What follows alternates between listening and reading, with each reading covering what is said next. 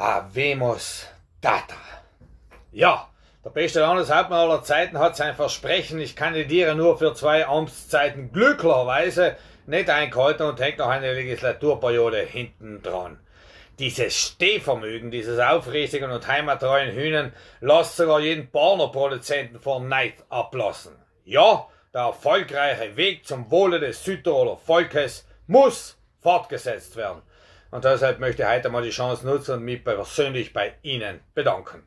Für den Ausbau der Autonomie und für die rasche Umsetzung des Autonomiekonvents, für den Abbau der Bürokratie, für die Heimholung des Stromes und die damit verbundene Preissenkung oder für den überaus erfolgreichen Kampf für die Autobahnkonzession für die Gutherzigkeit gegenüber unseren stark pigmentierten Mitbürgern oder für den Verkauf des Ehrenamts, den Säulen unserer Heimat, wie sie immer wieder betonen.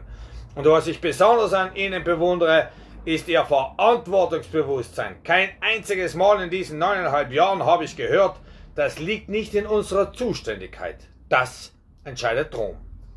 Aber nicht nur als Landeshauptmann haben sie bewiesen, dass sie der Richtige sind. Auch als Gesundheitslandesrat ist der Weg mit Erfolg gepflastert.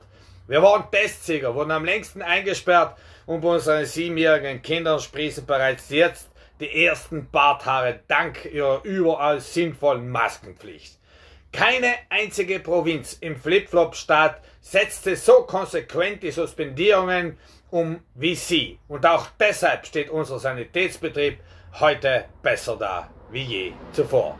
Und deshalb finde ich persönlich, wäre auch eine Aufarbeitung völlig sinnlos und auch nicht zu rechtfertigen.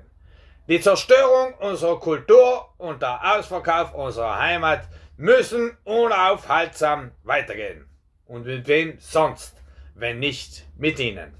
Auf gute Zusammenarbeit, lieber Principe.